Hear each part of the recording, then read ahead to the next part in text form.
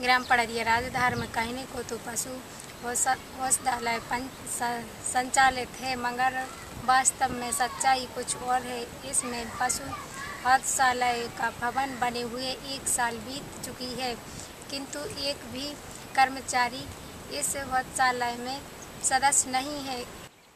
पशुओं को बीमारी इसी तरीका की होती रहती है। हाँ ऐसे चटपट बीमारी होती है। यहाँ कोई साधन भी नहीं है। हॉस्पिटल के आने जाने के बिल्डिंग ज़रूर बन गई है। एक साल हो गए बने लेकिन आज तक लोग कंपाउंडर डॉक्टर कुछ भी व्यवस्था नहीं है। स्वास्थ्य केंद्र की है तो स्वास्थ्य केंद्र से दो साल से बंद पड़ा है। आपका ये बछड़ा बीमार था तो आपने किसी को फ़ोन लगाया डॉक्टर वगैरह बुलवाए या वैद क्या हाँ सुल्तान फ़ोन लगा कर डॉक्टर को तो क्या सागर में मरीज़ भर्ती करें। तो वो भी नहीं आए।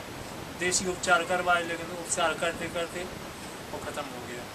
तो सुल्तानगंज यहाँ से कितनी दूर है? पंद्रह पंद्रह किलोमीटर। तो वहाँ से डॉक्टर आता है? हाँ वो भी अपना साधन भेजो खुद लेने जाओ जब वो आप आते हैं। आवेदन अपन देव भी सब पेंटिंग में डाल देते अब लोग क्या करें हम लोग कहाँ जाएँ? जिससे का मंत्री जी या मंत्री जी से शिकायत करी कि लोग हो जाएगा। होना जाना कुछ भी नहीं है। तो जैसे कि साल में यदि पशुओं की मौत होती तो कितने के करीब हो जाती है?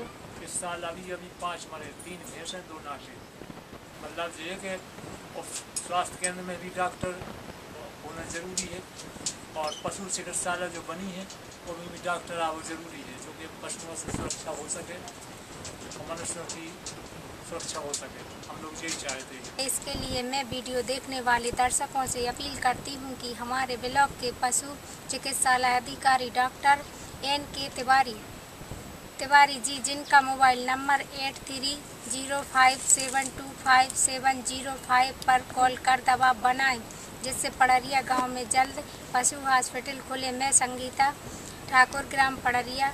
राजधार विकासखंड बेगमगंज जिला रायसेन से मध्य प्रदेश इंडिया हट के लिए।